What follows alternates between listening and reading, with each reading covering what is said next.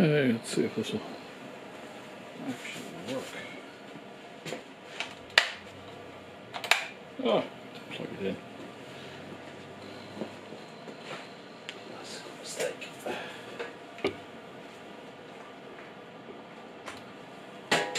Might run better with electricity.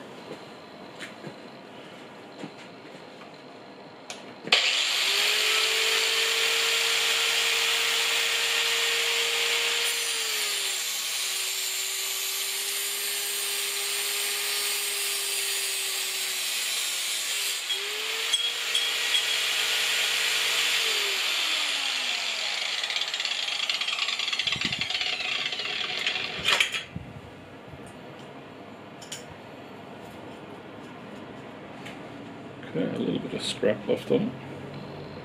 But then of course this blade is the one that came with the, came with the device, so I wouldn't expect it to be 100% good.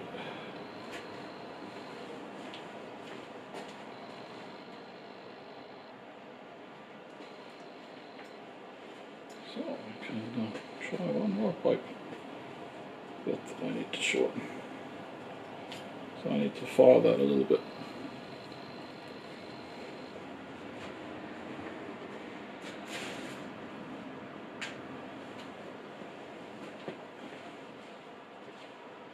Okay, pipe.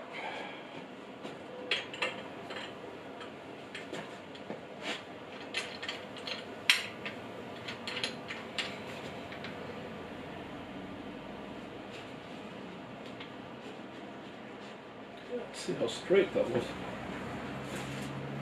Actually a straight edge. Well, it actually looks quite. It looks quite straight. I mean, the tolerance is using a grinder is not going to exactly be. That's super good. So one has to accept plus minus something.